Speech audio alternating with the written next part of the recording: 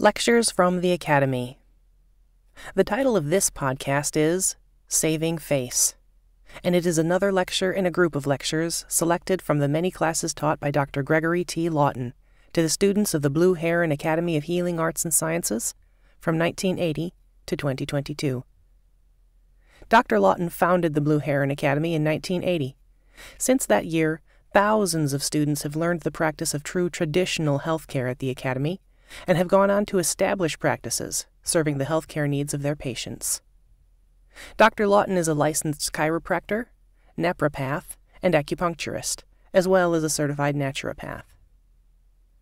Welcome. My name is Chrissy Dawn, and for the next few minutes I'm going to share with you a lecture from the Blue Heron Academy entitled Saving Face. Let's begin. Saving Face. Why is it that doctors are paid so much and teachers are paid so little? Are they not both equally important?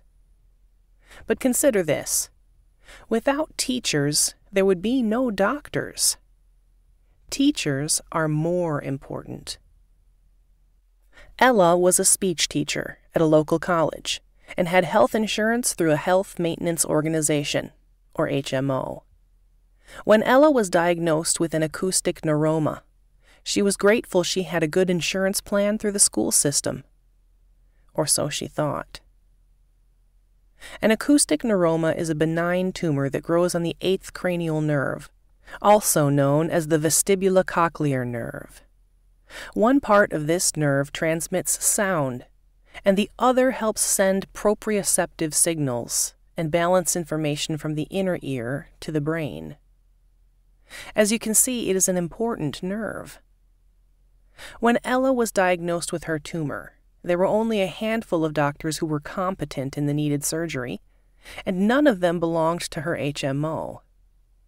There was a great acoustic neuroma surgeon in Chicago. He pioneered the most advanced surgery for the condition. Ella's HMO refused to allow her to be treated by him, and Ella did not have the money to pay him privately. She did not have a choice. She would have to trust the HMO surgeon. The surgeon her HMO assigned to her case botched the surgery and damaged the facial nerve on the right side of Ella's face. The nerve damage caused permanent numbness and complete paralysis on the right side of her face. In addition, part of her tongue was paralyzed, and this college speech teacher had to go through many months of speech therapy to learn how to talk again. Ella, a beautiful woman, now looked like she had had a stroke, and she was unable to work. This is where Ella's story gets worse. Her husband announced he was leaving her and their young special needs daughter and was filing for divorce. In his mind, Ella due to her facial paralysis and inability to speak clearly, was no longer the woman he had married. When I met Ella, she was a single mom who had just completed months of speech therapy and had returned to her teaching position. She was visiting with me to see if there was anything I could do to help her with the muscles on the right side of her face. This is where I admit to you that one minute before she came to talk with me, I had no clue what to do. But moments after talking with her, I had an idea, and I knew exactly what to do. My education and training never prepared me for half of what walked into my office, but somehow I managed to come up with some way to help people. This was the case with Ella. Traditional manual therapy and mobilization techniques, like massage therapy or spinal mobilization, are not effective in treating patients with severe nerve damage and paralysis. There are techniques and procedures that do work, but in Ella's case, the damaged nerve was beyond repair.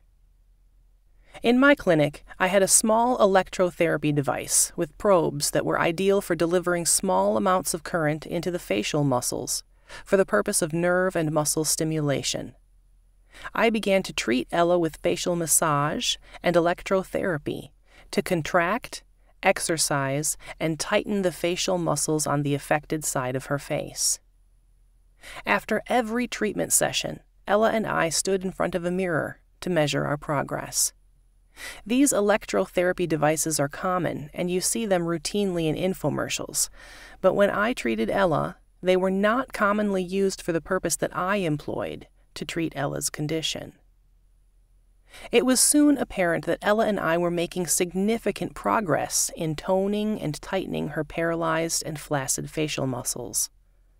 The results were remarkable, and it delighted Ella to see the transformation. It greatly surprised me. Apparently, and this is according to the doctor that pioneered the original acoustic neuroma surgery, no one had thought to do this before for patients who experienced a failed surgery. Ella's HMO belatedly allowed her to consult with this surgeon, and Ella was invited to speak at an Acoustic Neuroma Association conference, where she told her story and talked about my approach to her treatment. My technique went on to become adopted as standard practice for patients like Ella. I, of course, not being a medical doctor or considered to be part of the medical profession, was not invited. After several weeks of electrotherapy, and while looking in the mirror together, we realized that the injured and paralyzed side of Ella's face now looked more youthful than the normal side. At this point in Ella's treatment, I suggested we get her insurance company to buy her an electrotherapy machine so she could treat herself at home. To our mutual surprise, the insurance company agreed. Due to our many sessions together, Ella was now empowered to care for and to treat herself, and I arranged for her to get an electrotherapy device like the one I used on her, paid for by her health insurance provider, so that she could continue with her own therapy at home. Ella would need facial muscle electrostimulation for the remainder of her life. One side effect that Ella and I noticed after about six weeks of therapy was that the affected, paralyzed side of her face began to look tighter and more youthful than the side without the nerve damage. We then had to begin to treat both sides of her face so that her facial muscles were balanced and symmetrical. When we enter a healthcare career, we call it a practice. I have found this to be very true. Our interaction with patients is a practice, and we never know when we will be called to higher levels of knowledge and ability. I am grateful to Ella as a teacher in my practice. It was because of her that I was able to work with and help many other patients with similar problems. The word cure, or cura in Latin, means to take care, to be careful, and to manage an existing condition. It does not mean miracle. Cure, or to be cured, denotes work and effort on one's own part. When I can reach a point with a patient where I have guided them towards self empowerment and self care, like in the case of Ella, I consider the patient cured. This has been your narrator, Chrissy Dawn, and it has been my privilege to share Ella's story with you. I hope that you will continue to listen to our lectures from the Academy series. Until next time, stay healthy.